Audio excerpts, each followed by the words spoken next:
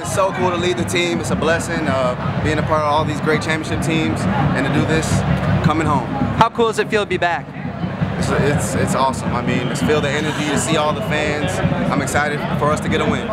What's the brotherhood like in the NFL with all the former Trojans?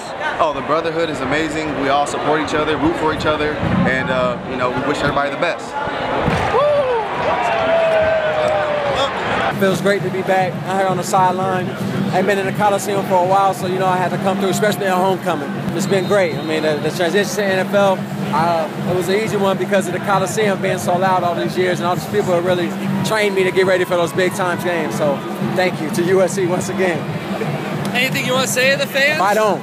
So Ryan Kalil here, the LA Coliseum. We're here with Shaun Cody. Shaun, what's it like to be back here at the LA Coliseum? It's it's quite an honor to be standing next to Ryan Kalil with no age. Uh, it's it's it's really spectacular to be back and seeing some of my former players back here on the, on the field. It's, it's nice. Obviously, the Coliseum has so much history, so much tradition.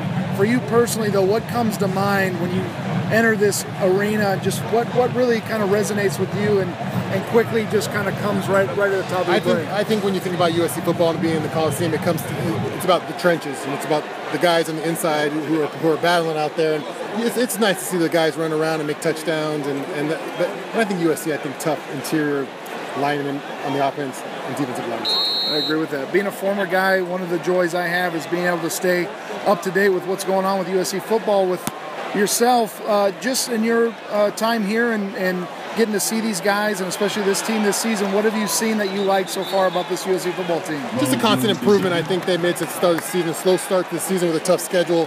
The guys have really done a good job of turning around and, and making positivity out of a negative situation at the start of the season. So I'm proud of those guys for fighting, and it's good to have former guys like yourself come back and, and see, see great players like yourself on the sideline. It really inspires these young players to to uh, be awesome in life.